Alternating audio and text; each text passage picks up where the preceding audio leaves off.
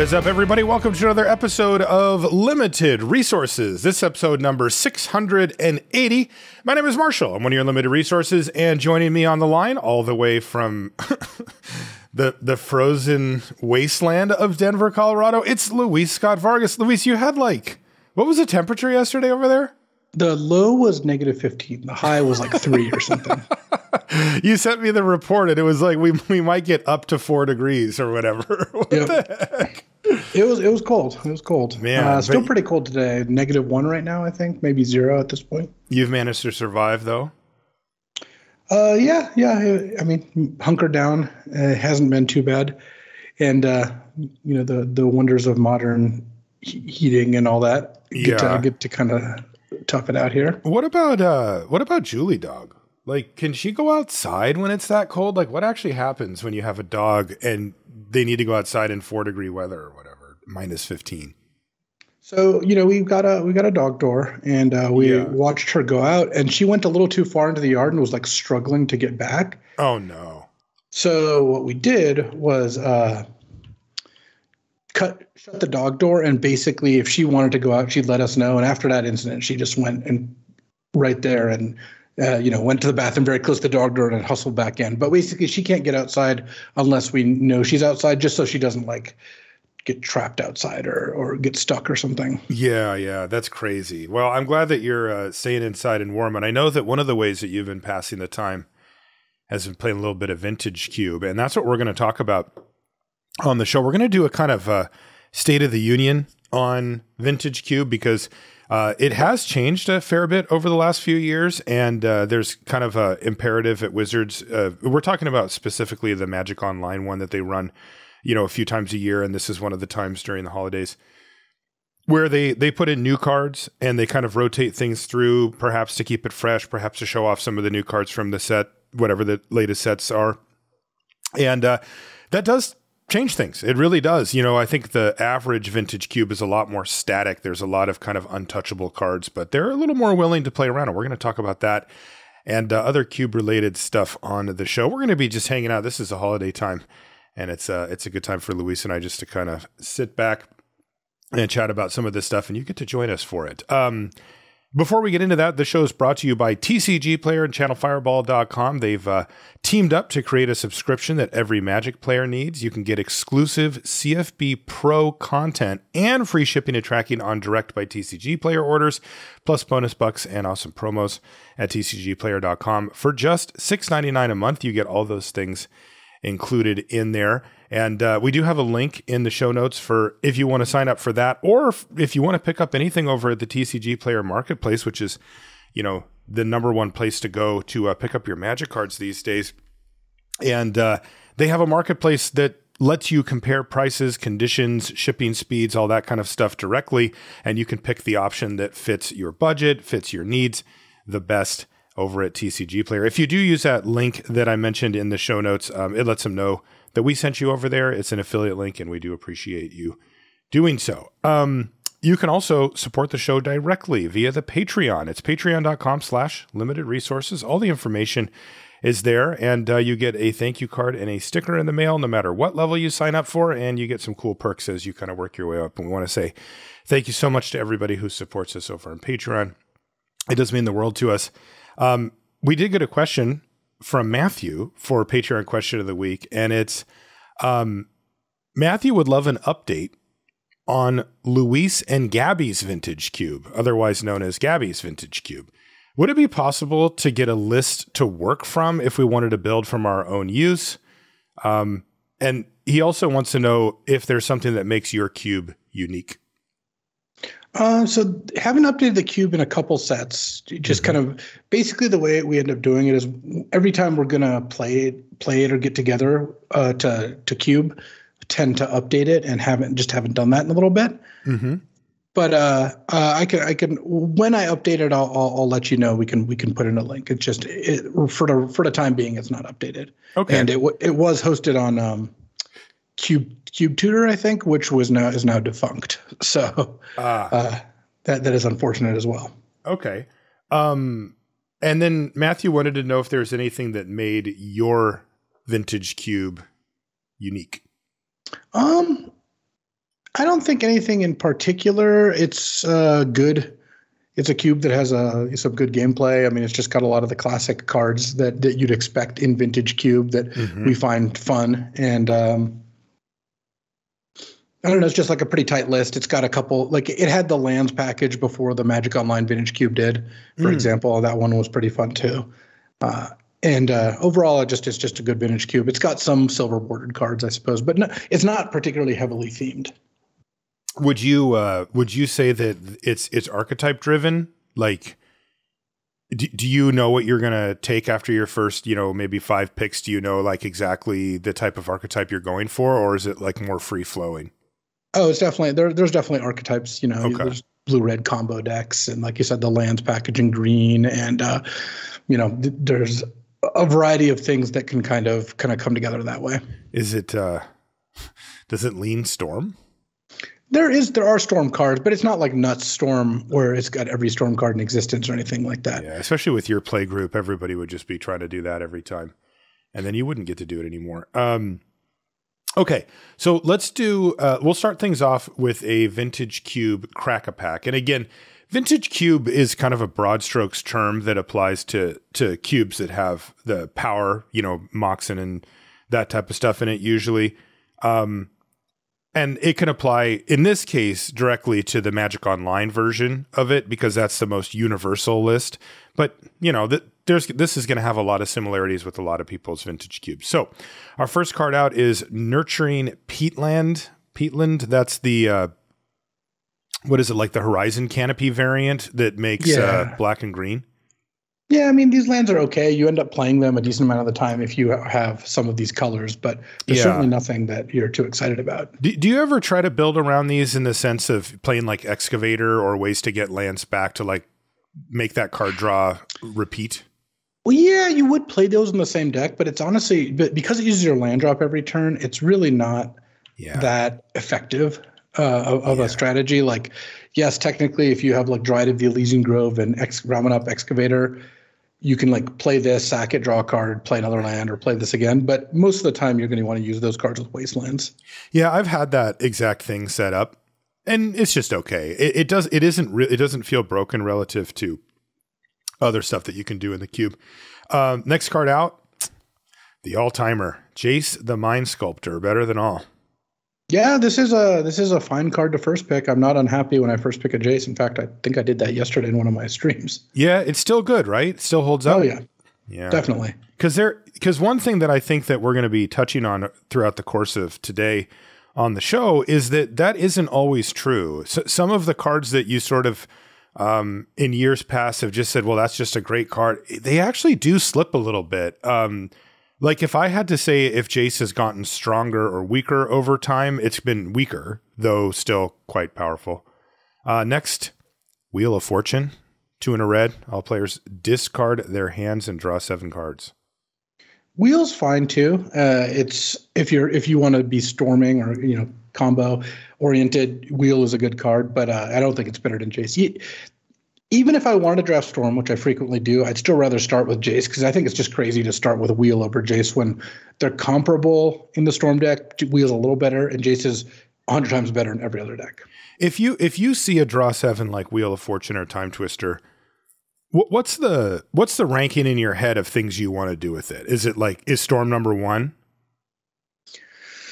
Yeah, I mean, I think that's the main way. There's the, the, the two things you can do are like storm combo, where you're trying to wheel and time twister into you know a bunch of spells, brain freeze, tendrils, whatever. Uh-huh. Uh, or there's Narset, Leovold, Sheoldred combo where you have these three cards, and we'll talk more about Sheoldred, but uh, that punish your opponent they make draw sevens asymmetrical either by having Narset slash Leovold make it so your opponent doesn't draw cards, they draw one card and that's it, and you get a fresh seven, or Sheoldred, which gains you 14 and deals 14 to them. Yeah, it's incredible. Uh, I've, I saw you do that on your stream, and I was like, that is not tendrils, but it looks a lot like tendrils when you fire it off.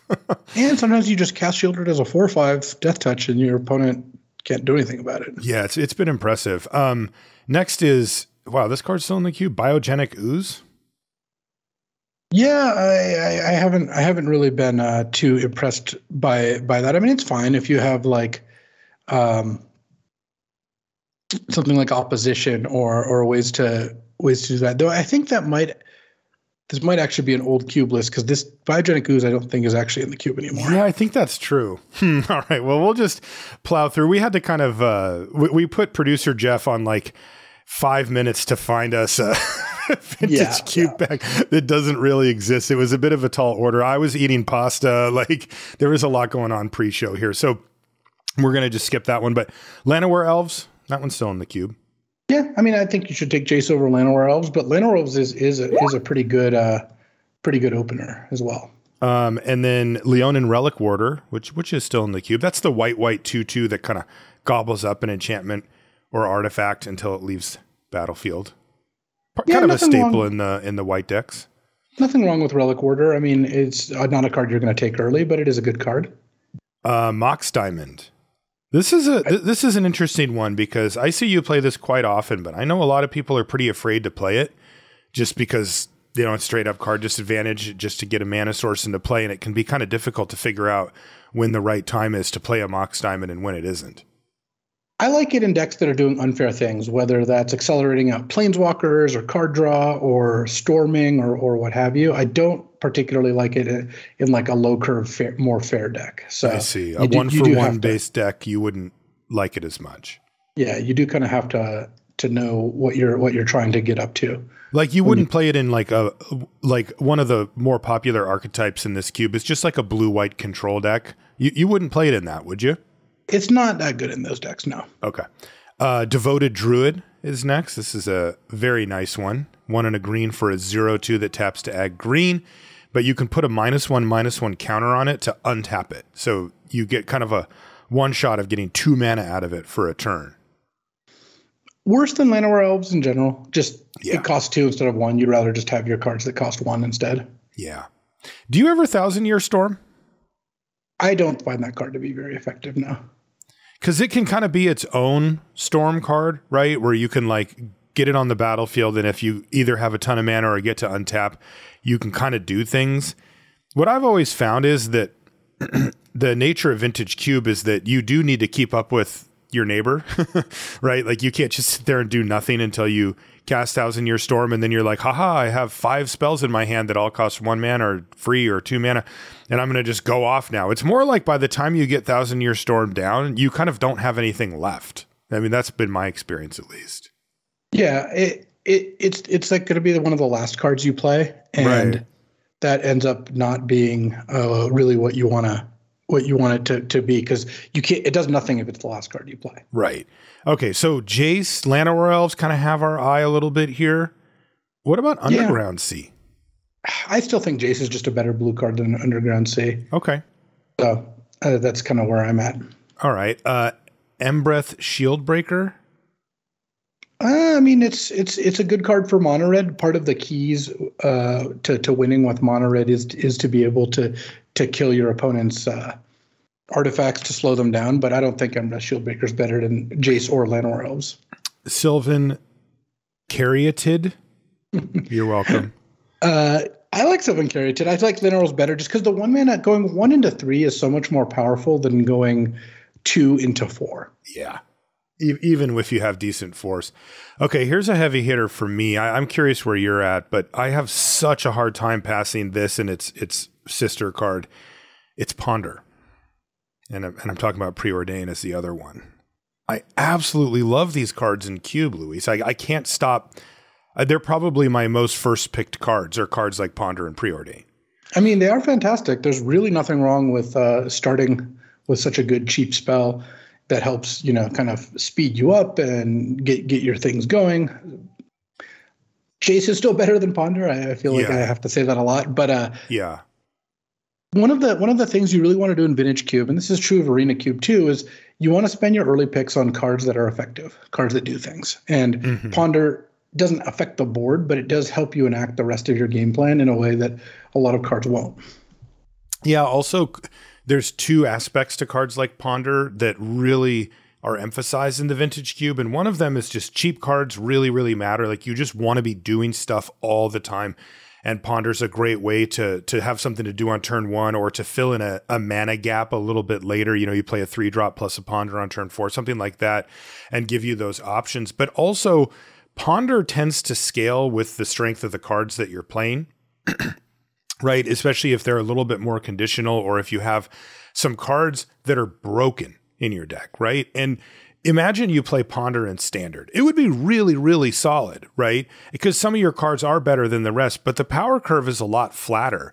Here in Vintage Cube, it's Singleton, and you might have, you know, between one and three cards that are just stupid, right? You know, cards like Ancestral Recall or something like that, where it's just like, oh my God, like this is just so far out of whack compared to the rest of my deck. You might have specific types of cards, like even just looking in this pack, like a Wheel of Fortune, right?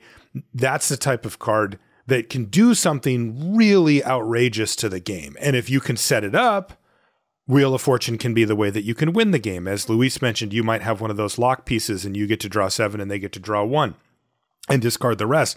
You know, that's probably a win for you um, you may be able to use Wheel of Fortune to fuel your huge storm turn, where you may only have a couple of those in your whole library. Those type of draw sevens or those unique effects, you know, that are difficult to find and that you don't have very many of. And Ponder scales with those because it lets you see three cards, and if you don't want, you could even see a fourth uh, to try to find your best, most powerful stuff. So that's that's why I tend to do it. Also, it's blue, which is you know I often want to be in blue or touching blue in the cube. It is the best color in the cube usually, and uh, so that's a thing too. But Jace the Mind Sculptor is one of those cards that we were that I was just referencing. One of those game changing cards that you can find and take over with. Uh, two more cards in this pack: Shriekmaw Shriekmaw, I think, is on balance worse than most of the two mana removal spells. Like, I'd rather just have an Infernal Grasp most of the time. Okay. Just the fact that it's sorcery and doesn't hit artifacts, both those kind of do add up. Yeah, and, they uh, do. Yeah. And I think that you, you do have to watch out for that. Yeah. And any of these that don't hit land, like, you know, creature lands can be tough. Last one is hey, if you want to go a different direction, how about a Goblin Guide? Well, I mean, it's a valid strategy playing it mono is. red. It win it wins quite a bit. Uh, I don't think Goblin Guide. I wouldn't take it over Jace. I think if you strictly wanted to win, Jace is still a little better, but Goblin Guide's close. My guess is Thalia, Guardian of Thraben's better a better pick than any of these cards in terms of like just yeah. win shares and pick pick one, pack one. What if it was um, Ragavan instead of Goblin Guide here? Mm. I'd probably take Ragavan. I think yeah. Ragavan is, is just obscene. I mean, if it's a one mana play that if you have it in your opening hand and they don't kill it, you you run out of the game almost immediately. You're drawing yes. an extra card and a Lotus Petal every turn it hits. Yes. Like yes. absurd. And then even late game with the dash, it, it's still pretty strong. So I like Ragavan. Plus, Ragavan's great in your blue red deck, but also in your mono red deck and also in your red green deck. Like it's just a good card. Yeah. Yeah. Super high power level for the mana that you pay. Okay, so there's our crack a pack. Um, we're both taking Jace. I'm, I'm a close on Ponder, but I would take Jace. Is that where you land too? Yeah, I would take Jace. Yeah, Jace is great. Okay, so let's talk about uh, big picture before we dive into to card by card stuff. Um, how would you say the vintage cube has changed in not just in like the card construction, but like what are the fundamentals that have changed over the past say year and a half to two years or so? When you think of sort of classic vintage cube to kind of where we're at right now? So I think I think vintage cube has gotten generally faster, and I think mm. that's something that that you do want to to keep in mind. Like it is a very strong, you know, brutal format, but things have even gotten faster. And cards like remember Karn Liberated, the seven mana Karn? Yeah, like, that got that played used, all the time. That used to be a card that you would first pick, and like not feel bad about it. Like you'd be yeah. like, okay, you know, I'm doing this. Mm-hmm. I don't think that's uh, that's true anymore. I don't think that's a card you should be taking. And you know, there's there's other cards in that vein, and, and it's really just interesting trying to figure out like what is actually good here. And the more expensive cards have gotten a little worse, and the cheaper cards tend to tend to get better, kind of as a result. Yeah, I mean, are you? Do, would you say that you're leaning more towards higher variance broken things, assuming that you're you're drafting to win, you know, um, or solid fair strategies that kind of do the same thing every time. Like, uh, where on that scale are you? Is it? Oh, I'm de- I definitely am trying to do broken stuff if I can. Okay. I, I, think that I think that it's a that's a really good place to be. Um, in general, I would say that if you're not doing something broken, you have to have a pretty good way to stop your opponent from doing something broken. Mm-hmm. So that could that could be as easy as counter spells. It could be speed, like these aggro decks. You know, they they end up uh, going very quickly in order to do that. And uh,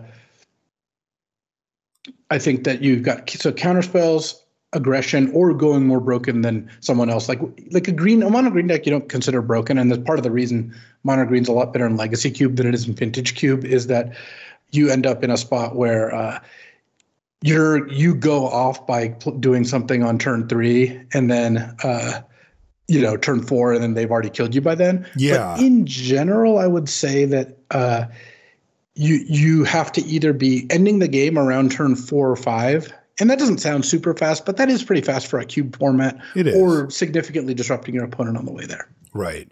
Yeah, because I think mono green's a really great example of kind of a checkpoint from before to now. Because yeah. the deck itself actually hasn't changed. Almost all the pieces are still there. There's still a ton of mana elves in the format. There's still Gaea's Cradle. There's still a bunch of colorless payoffs and green payoffs. There's still Craterhoof, Natural Order, right? All of the pieces are still there.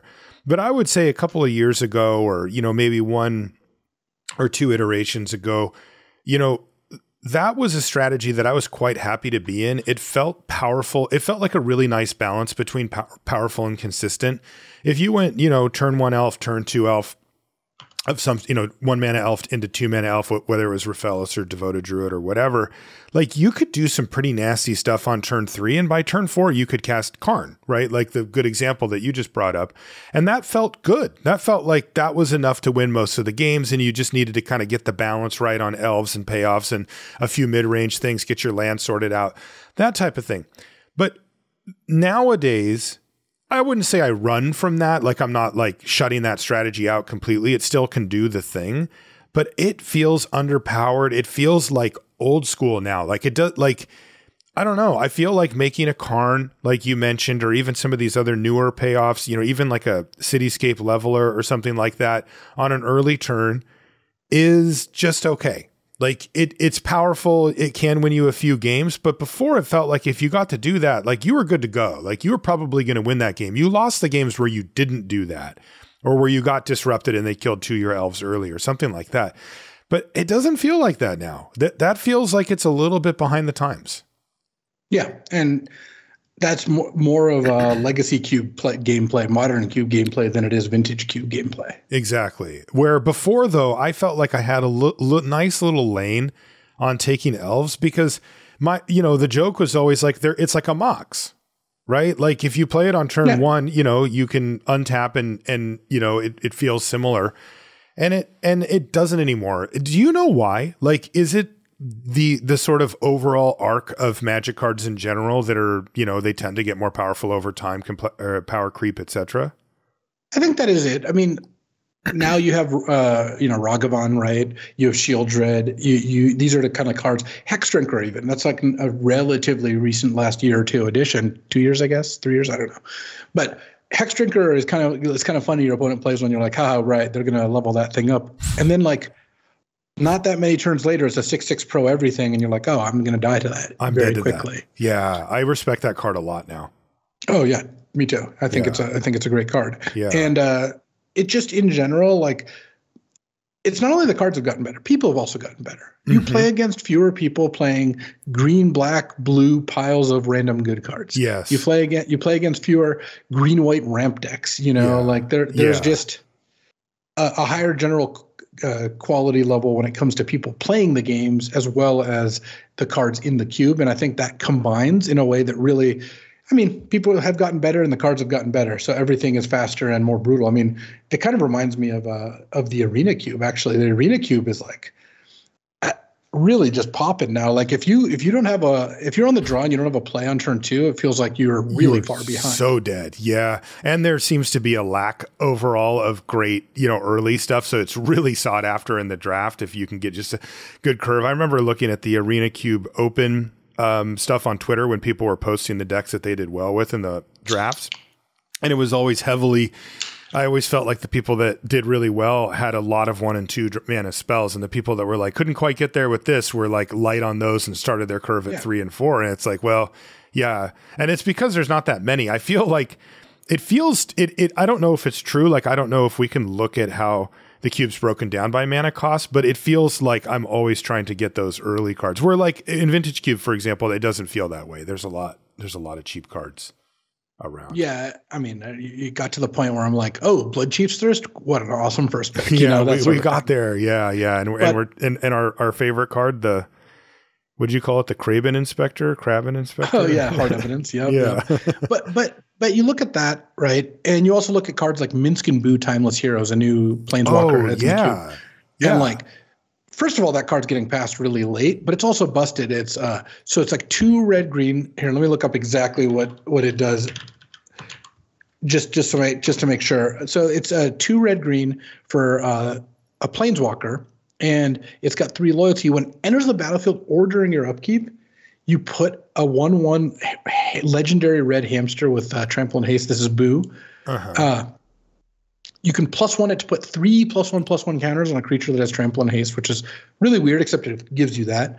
And you can minus two it, sack a creature, and when you do, it does X damage or to any target where X is that creature's power, and you draw that many cards if that creature was a hamster. what the heck? So so look at this. You play this and you get a four four trample haste immediately because you get a one one and you plus one it. Yeah, If they kill it, you get it again on your upkeep.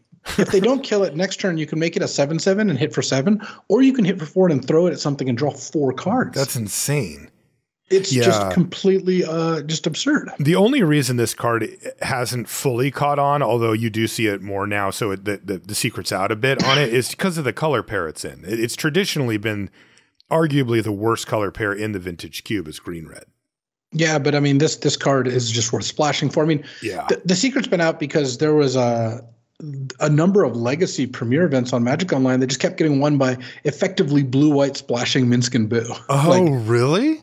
oh yeah, the, the, the, it's a it, it is a very uh, oh, wow. strong card, and even in Legacy, people were were using it well. So it's it, it's a nuts card, and and cards like that are what kind of what speed up the cube. You know, you just have you just have a faster and more aggressive, not not necessarily in getting attacked, but just you have to be doing stuff early. But it's the cool thing about the vintage cube, and this is where one where one place where I think it actually has an advantage over the arena cube is you get behind in the arena cube or you're on the draw especially and like they go one drop two drop on the play.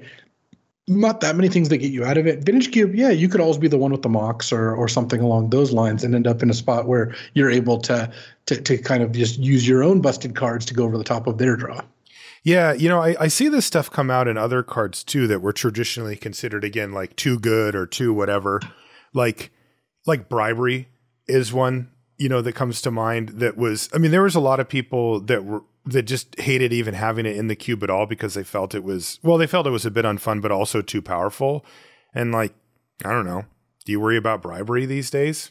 No i mean it's a playable card but Yeah, definitely it's not it's not it's not a not a busted one. And and uh, we don't have it in our cube just because don't like how it plays but i think Oh. at this point it would probably be fine. It's definitely not too good or anything close to that.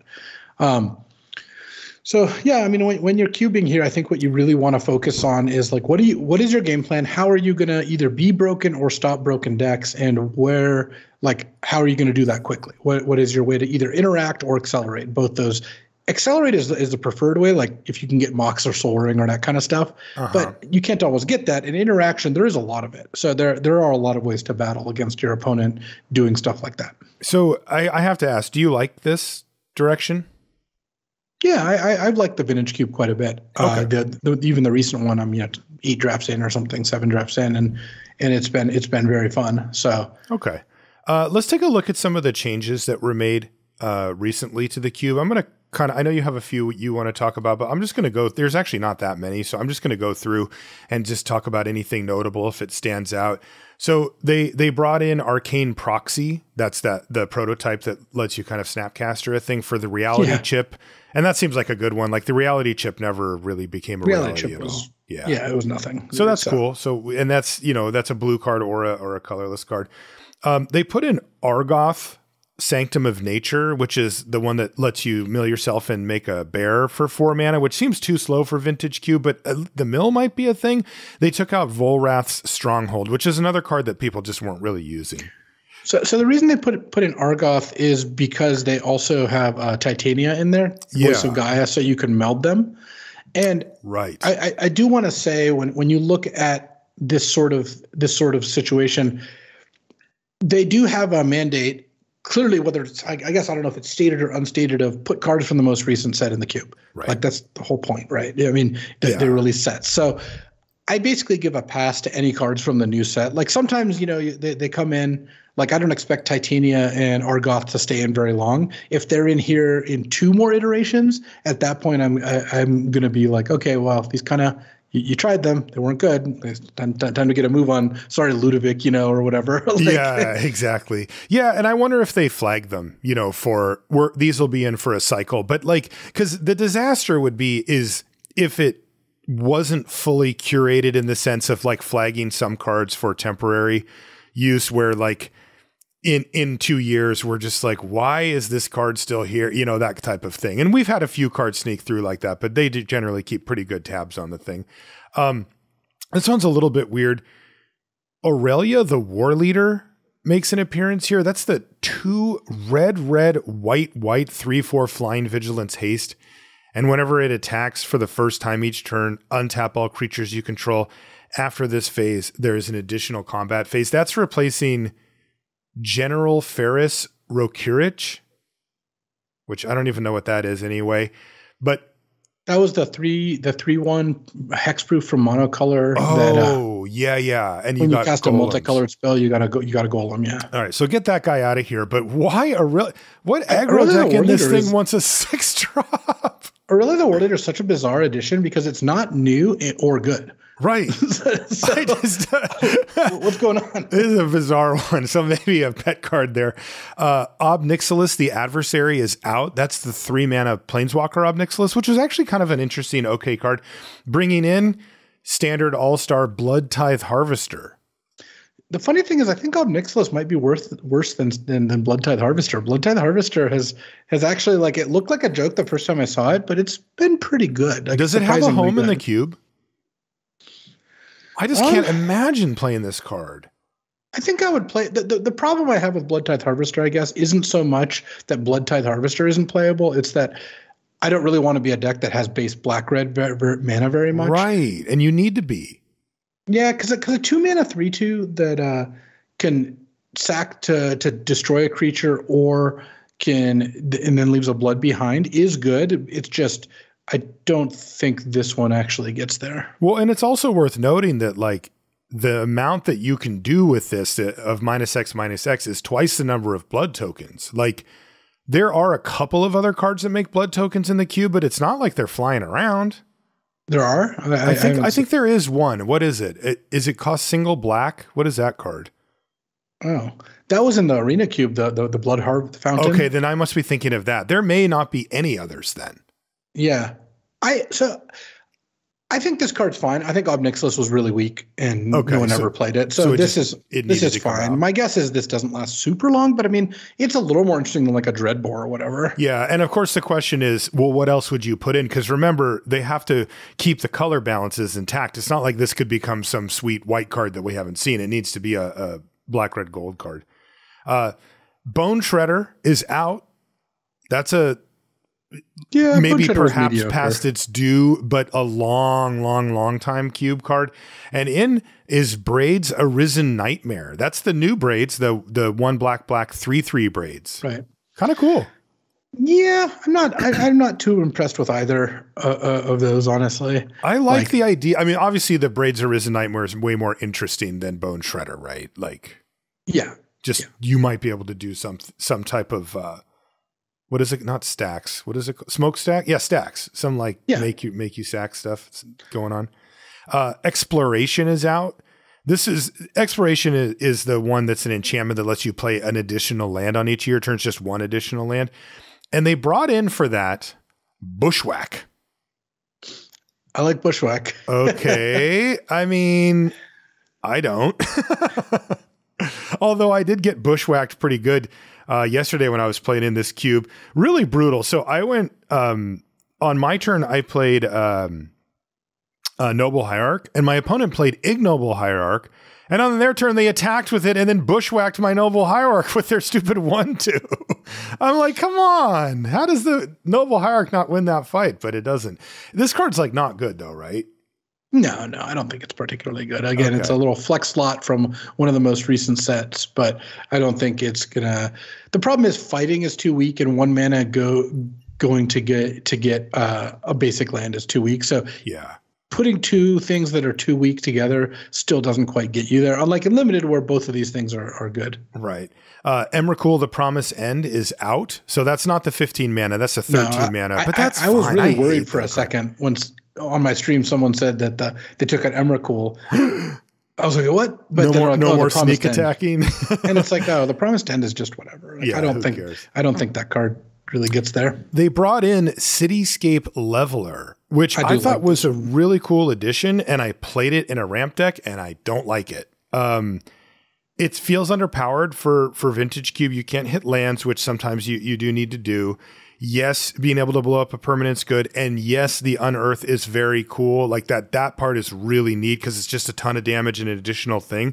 But man, there's a decent amount of the time that you want to hit a mana source and it gives them a tap power stone token and like they can actually use it in the vintage cube quite a bit. Yeah. I, I it did I, not do true. what I wanted. I'll tell you that. Sure. Sure. I, I, I, haven't had a chance to play with it yet. I'm just saying, like in theory, it sounds pretty good. That's what I thought too. You try it out, and I, I think you won't like it. What I thought it was is kind of like a baby, uh, old school. Uh, what's his name? Um, the Eldrazi, eleven mana. Sure, yeah. Yeah. The uh, Ulamog sort Ulamog, but it's not. um, Portent is out for consider. So I, I think that that's a fine uh, swap in terms of power level, regardless. But also, Portent is just a really unpleasant card to play with. The fact that you have to then wait a turn, a half turn cycle to draw is just like just don't put this card in. It's just a it's just kind of an annoying card. Yeah, and you know this goes to Carmen Handy wrote an article called I'll put in a link in the notes called Holiday Vintage Cube 22 2022 outlining her rationale for making these changes and this is what she said about that one. Lesson number 1, strength isn't everything. Not all changes made in cubes are made in the name of making them stronger. Uh, in this update, for example, I've made the decision to cut Portent for Consider. Which is a stronger uh, on raw rate is debatable, but it certainly isn't a unilateral upgrade, though Consider is certainly more fun to play with over the, over the course of a thousand games. Sometimes weaker cards can even enable synergies and cubes to make archetypes more reliable than they normally would be in Vintage Cube, for example. Having a card that contributes a bit more to graveyard synergies rather than raw selection is a huge boon for archetypes like Reanimator or even some of the Goblin Welder fueled shenanigans therein. So that's an interesting note, right? It isn't always one direction that, you know, in this case that Carmen's trying to just go, this card's better, it's going in. It it also can be like, well, this one's a little different or this one plays a little better. And uh, so we'll make a, a, little adjustment there. And I like that. I mean, Portent's just annoying. Yeah. Um, disenchant out. And instead sure, it's dis- destroy evil. I don't really buy destroy evil either, honestly. But I uh don't really think that disenchant's that exciting either. So I don't, I don't, and it doesn't really bother me whichever one. Man, you really don't have any uh, emotional connection to these cards, do you? Not so much. No, you, are more interested in how they play.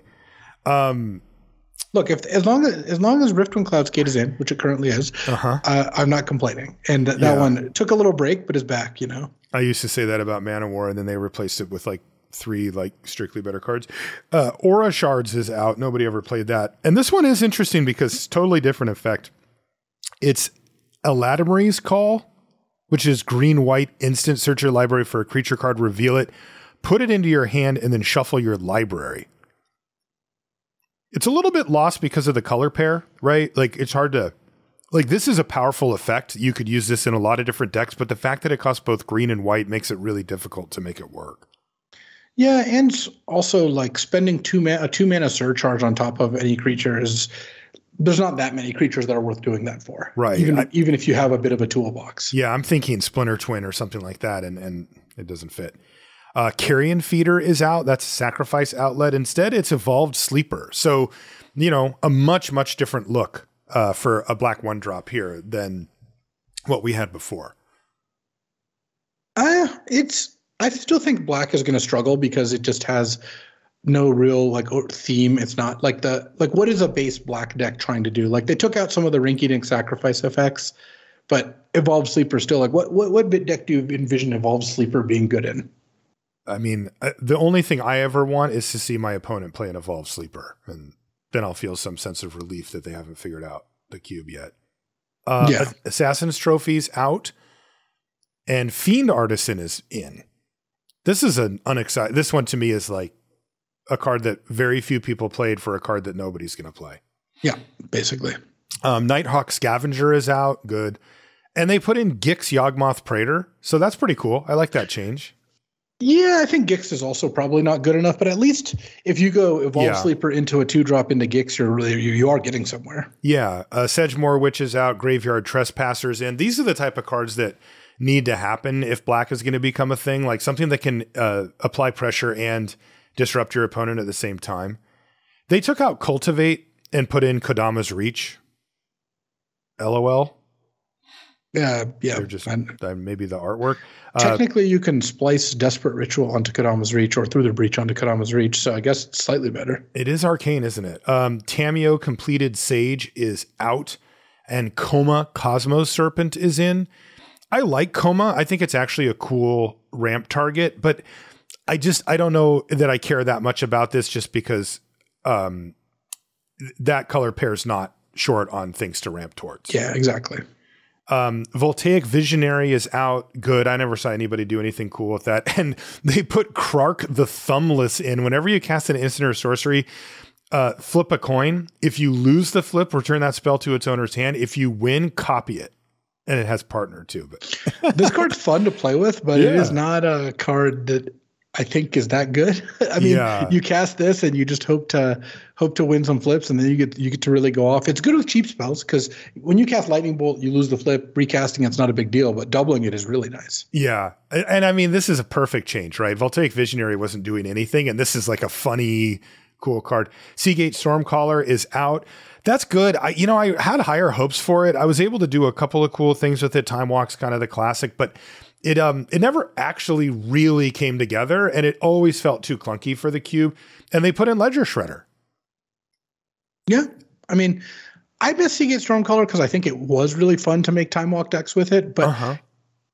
If you didn't get time walk the card wasn't that good. So i think it's uh, certainly a fine card to to, to rotate and move, move on. Yeah and shredder is actually relevant in vintage cube because people very often play two spells in a turn. Uh, Swift reconfiguration is out, and it's now Loran of the Third Path, which is the two and a white, two one vigilance, and when it ETBs, it destroys an artifact or enchantment, and you can tap it to have both people draw a card. Yeah, that's a card. Very interesting card. Yeah, and you know, having an, another reclamation sage in another colors, th- those are excellent in Vintage Cube. Uh, here's one that Carmen also talked about. Uh, Halana and Alena Partners is out. That's the four mana one. And in is Meria, Scholar of Antiq- Antiquity, which is the three mana, three, three, one green, uh, red.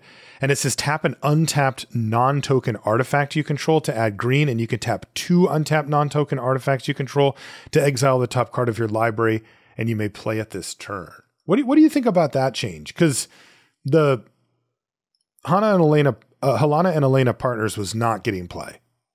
Yeah, I mean that card.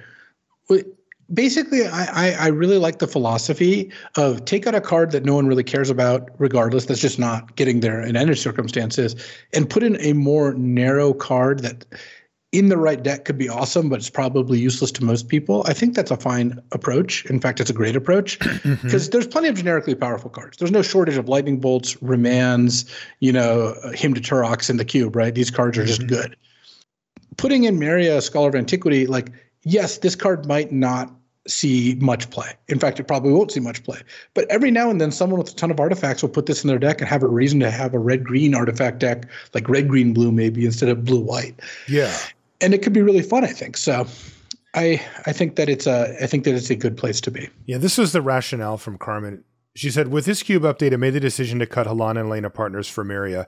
I've spoken more than once about the struggles of finding strong Gruul cards that can compete in the vintage at the vintage cube level. So axing a generic rate card for a sweet build around is a no-brainer. I'm optimistic about the decks that Meria can enable that otherwise wouldn't have been built. So that's just huge upside, right? Even if you're just taking a shot, you know, rather than just having kind of a boring card in there. Um, Unburial Rites is out for Min- Minsc and Boo, which we talked about being very powerful.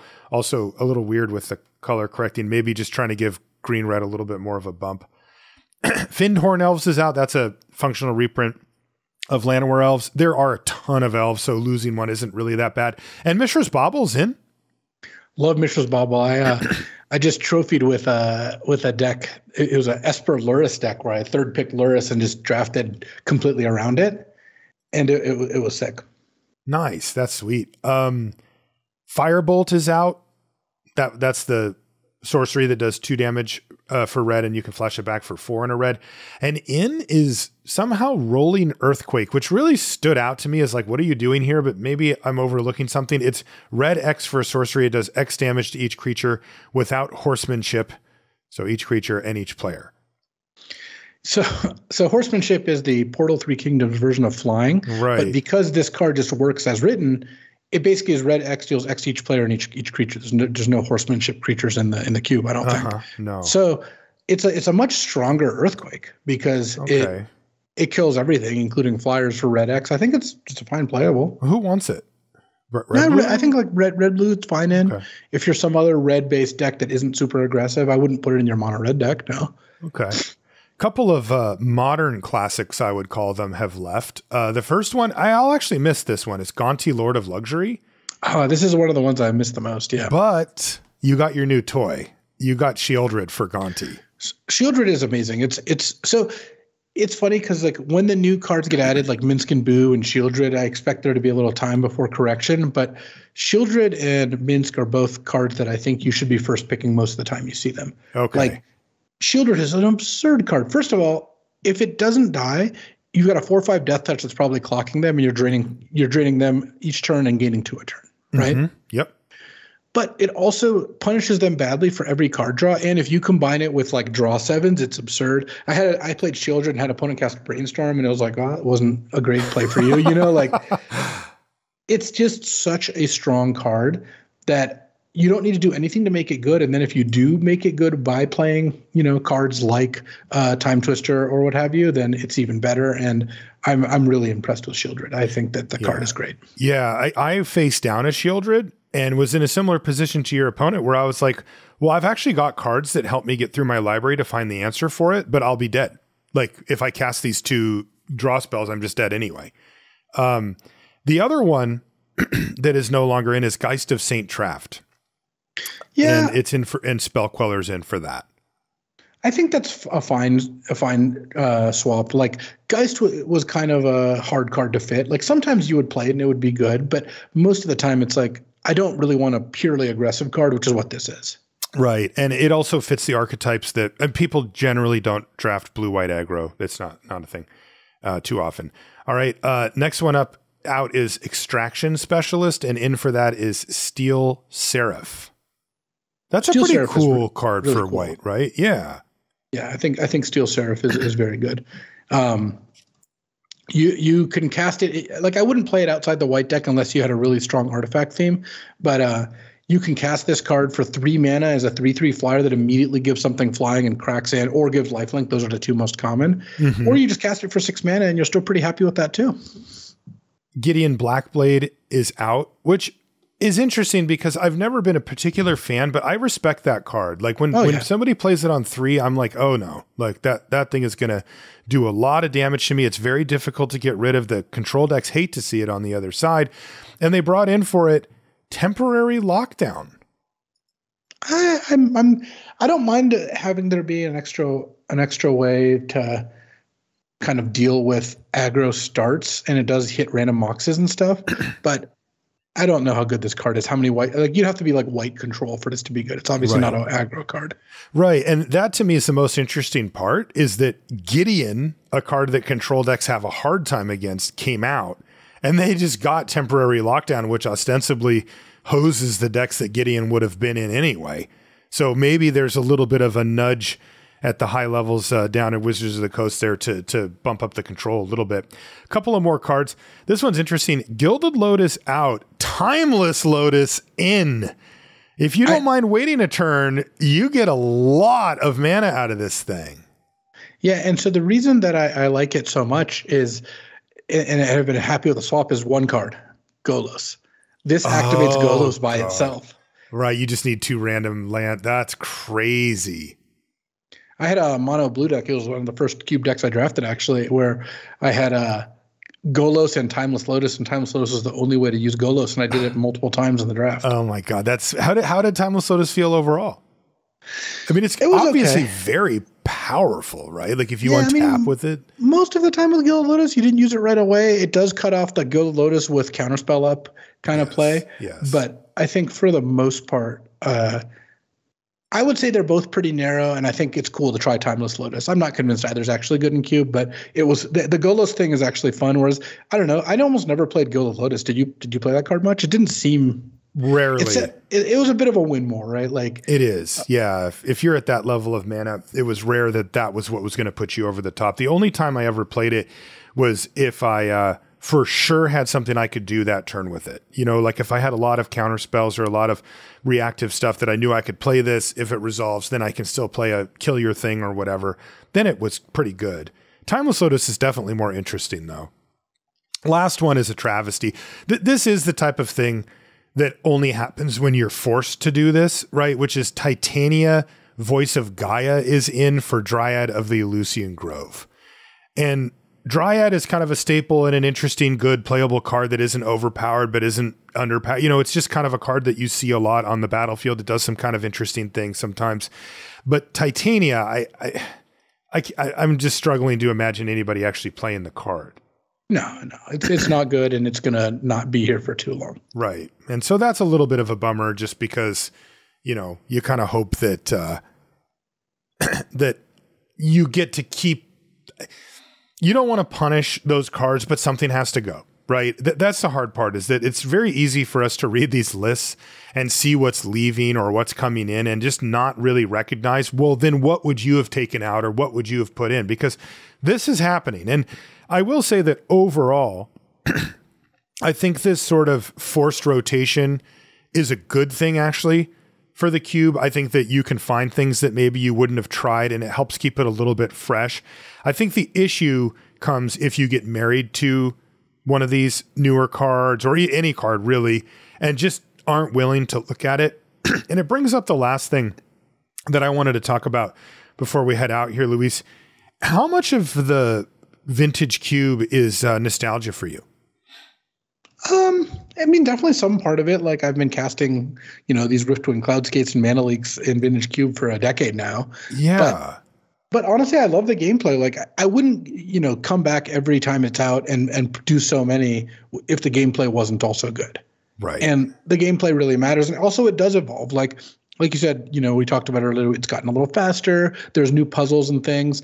Um, overall, I think the Vintage Cube is a good job of kind of sh- showing the best Magic has to offer in terms of a lot of different aspects. Like it's really fun to draft, it's really fun to play. You do all these broken stuff. I can't fault people who say like I, I saw some people like Siggy and Newmont were like, uh, the Arena Cube's better than the Vintage Cube. And oh God. Yeah, I mean, look, I enjoy both, and I don't fault them for that. But I like the Vintage Cube more, and I understand if you know. Can I fault them for that? Well, definitely. I mean, I didn't want to get into the skill differentials needed to to play the two cubes, and no, but uh, Vintage Cube They're on the beginner like cube. a lot of what I like, which is casting a bunch of nonsense spells and and w- playing decks that are just completely nonsensical, mm-hmm. yet still work. Yeah, and the Vintage Cube is the best place for me to do that. Uh, I, I, I saw someone uh, describe Cube as like Vintage Cube as EDH for comp- competitive players. And like, you know what? I kind of buy it. It's singleton. Like you draft, you put together this mishmash of cards. You you have this vision. Like I, you know, that was a, that was actually a pretty good comparison. And yeah, uh, I, I don't know. I love it. I'm I'm on balance glad it's not always here. It's only up uh, what two three times a year or something like that. Mm-hmm. But that feels like enough for me to get my cube fixed but all not not where it gets stale or I jam it all the time. Yeah, I feel the same way. Um, my favorite thing about Vintage Cube, it's really about any cube, but it's much more so in Vintage Cube, are like two card combos, right? Not not like literally I just win the game. There's there's few, very few, if any, of those that are just straight up two cards, you know, Splinter Twin or something like that. But I like the, you know, I remember I think it was you or somebody showed me the um Urza with what's it called? Uh Winter Orb. Yeah. You know, like that is cool, right? You have to take oh, yeah. some risk to do that. Urza is just good and you can just play it. But, you know, most decks don't want Winter or. But if you set up that one two punch, it's really powerful and it's like, oh, I did it. You know, you set up the thing. And there's a bunch of those that are there. There's more copies of those type of cards. Like, I'm a big fan of the draw seven and Narset combos. I think that those are really tension filled. When somebody plays a Narset, I'm very aware that they may be trying to run that on me. And so I'm going to use as much resources as I can to get Narset off the battlefield. Last night I was playing and I had a scenario where my opponent played Narset minus it. They didn't find a draw seven, but I knew that they had one in their deck from earlier. And I didn't know if they had it in their hand. And I had a turn where I had my Noble Hierarch out and I could play a four mana spell or attack Narset down to two in case they didn't have it, so that if they wanted to use Narset to try to find something, then they would have to kill Narset instead. And I chose to do that. And that's like, that's because of those two card combos, not because Narset's so great. Like, I would have been better off just having a four drop on the battlefield there. But I'm like, if I leave my let my opponent have this and I just say go, they get like they get to look at five cards to try to find their Eon's Torn or whatever that card's what is that card called? Aeon, whatever. Yeah, uh, you were playing Echo it a bunch less. Echo of the Eons or whatever, you know. And and if they fire that off, then the game's just over on the spot. So I'm gonna have to to you know basically sacrifice my whole turn to do one damage to Narset. That is that is interesting to me. That is that is really cool, and uh, it it lends a real tension uh, to the game. And there's a ton of those in the Vintage Cube, and I don't find those nearly as often. Um, but I haven't done the Sheoldred one yet, but I'm I'm in for that too. Also, I feel that Vintage Cube is the best at um, the unknown.